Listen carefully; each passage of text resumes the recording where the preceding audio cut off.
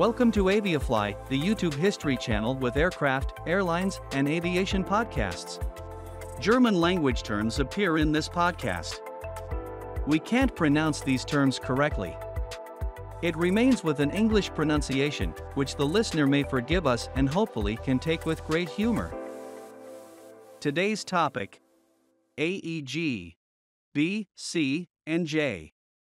Early on, Allgemeine Elektrizitätsgesellschaft, abbreviated to AEG, set up an aviation department, which designed and built its first aircraft in 1910. By the start of World War I, AEG had established itself as an aircraft manufacturer and soon after that also received orders from the German War Ministry.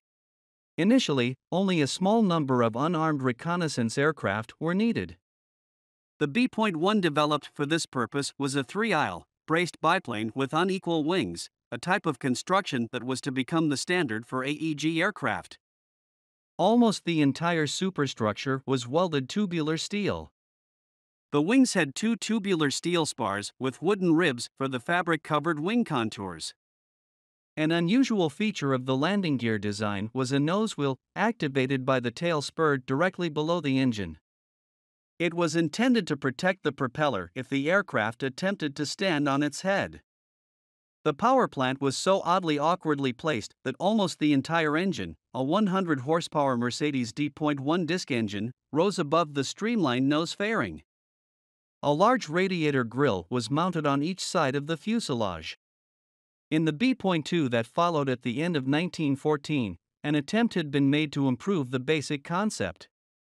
The biplane now had two stems, and the wings had been reduced in span, but no effort had been made to make the engine installation and the radiator grills more reasonable. This was followed in 1915 by the identical B.3 with the same engine type, but with some improvements gained from practical experience. It was to be AEG's last unarmed reconnaissance aircraft, for the enemy had left little time to develop weapon systems with which such an aircraft could be attacked and destroyed. It did not take much to develop the C.1, introduced in March 1915 and almost identical to the B.2, the best type of this series. It had the Benz BZ.3 engine, an inline 150 horsepower engine, and a swiveling machine gun in the observer's rear cockpit. The C.2 model from October 1915 was an improved version of the C.1.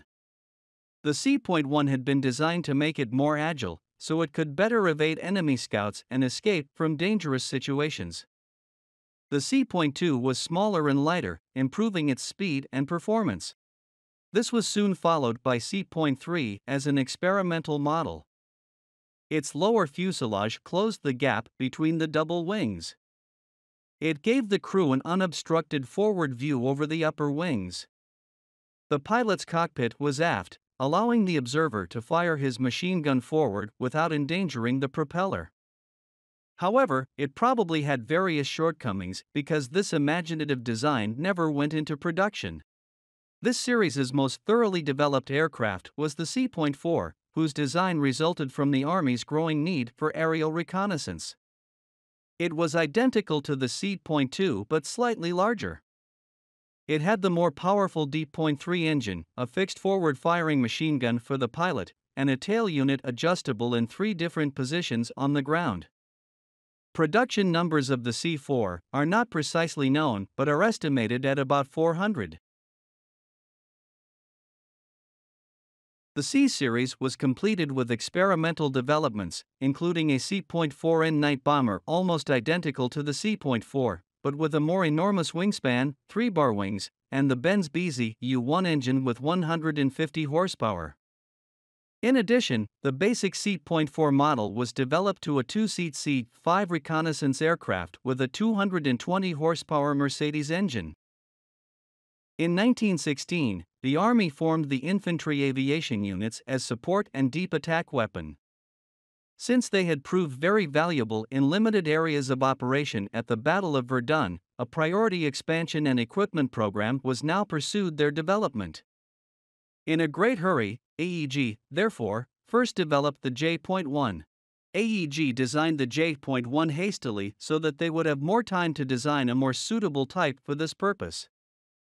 The J.1 was almost identical to the C.4 but had a 200 horsepower Benz BZ4 engine and was equipped with 390 kilograms armor plates to protect the crew and engine.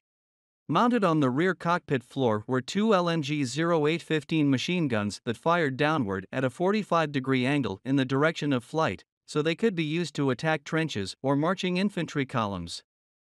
The Observer also had a parabellum machine gun mounted on a bogie. The J.2, built in 1918, was similar but introduced some improvements in operation and tail surfaces. Over 600 of these J.1 or J.2 were built. Technical data AEG C.4 Type 2 seat, armed reconnaissance aircraft. Engine Mercedes D.H1 inline Cooper engine with 160 horsepower, 119 kilowatts. Performance maximum speed 158 km per hour, maximum flight duration 4 hours. Weight empty weight 800 kilograms, max. Takeoff weight 1120 kilograms.